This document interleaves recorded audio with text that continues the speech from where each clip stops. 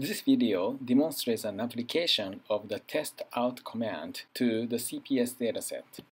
Start with the usual routine to set the working directory to the folder where you have the CPS dataset.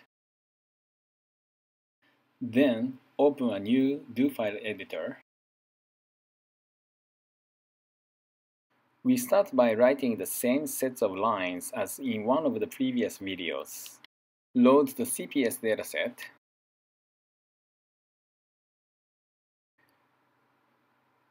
and then construct the wage from earnings, hours, and week. Then define the log wage. Finally, construct the years of experience.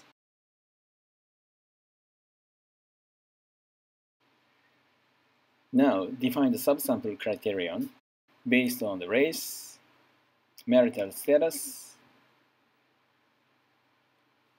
female indicator, and years of experience.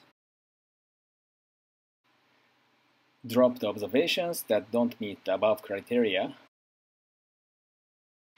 We run the regression of the log wage on the years of education.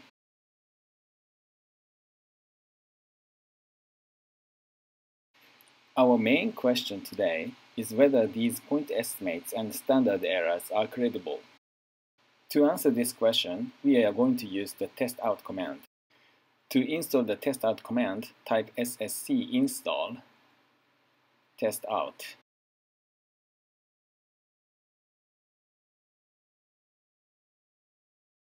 Once the installation is over, we are now ready to use it. To use the test out command, copy the command line for the regression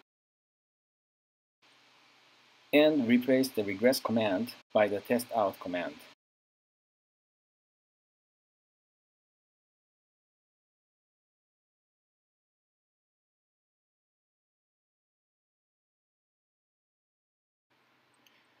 The results show that the test fails to reject the null hypothesis of consistency.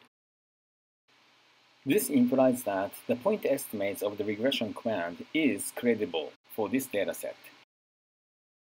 Similarly, the test fails to reject the null hypothesis of root-n consistency, implying that the standard errors are credible as well. So the testout command supports that these point estimates and standard errors are credible in this dataset.